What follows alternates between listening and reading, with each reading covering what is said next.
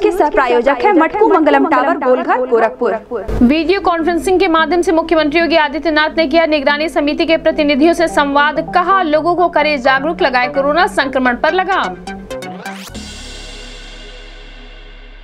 वर्दी का धौस दिखाकर दरोगा ने घर में घुसकर की युवती से छेड़खानी। गीटा थाने में दर्ज हुआ मुकदमा। एएसपी ने कहा बहराइच में तैनात है दरोगा मुकदमा दर्ज कर की जा रही है अग्रिम कार्रवाई।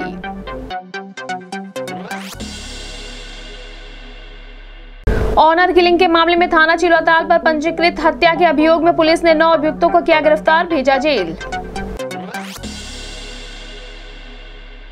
कैंट थाना स्थित एक निजी अस्पताल में कोरोना पॉजिटिव मरीज़ की मौत के बाद अस्पताल कर्मियों और पीड़ित परिजनों के बीच जमकर हुआ बवाल। परिजनों ने पैसे के लेन देन का लगाया आरोप। सीओ कैंट ने कहा, दोनों पक्षों की तरफ़ से मिली तहरीर के आधार पर जाँच कर की जाएगी कार्रवाई।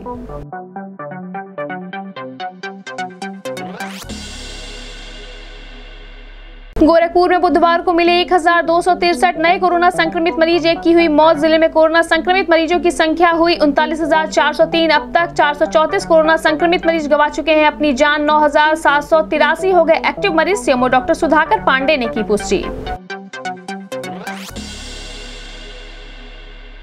नगर आयुक्त ने बुधवार को किया बाबा मुक्तेश्वर नाथ मुक्ति धाम अंत्येष्टि स्थल का निरीक्षण। कहा, कोविड के मृतकों के लिए निशुल्क है दाह संस्कार की व्यवस्था। किसी को ना दे कोई धनराशि।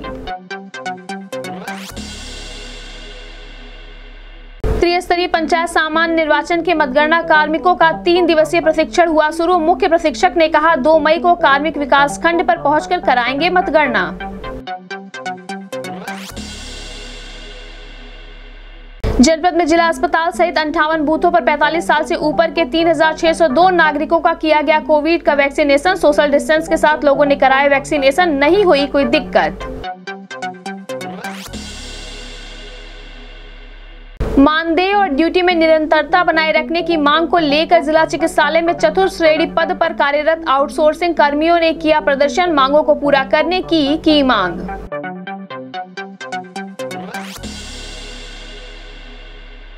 और कोरोना संक्रमण पर प्रभावी लगाम लगाने के दृष्टिगत लगाया गया नाइट कर्फ्यू बुधवार को भी रहा लागू। जनता स्वयं कर रही है कर्फ्यू का पालन। सीओ कैंट ने कहा, नाइट कर्फ्यू का उल्लंघन करने वालों पर होगी कड़ी कार्यवाही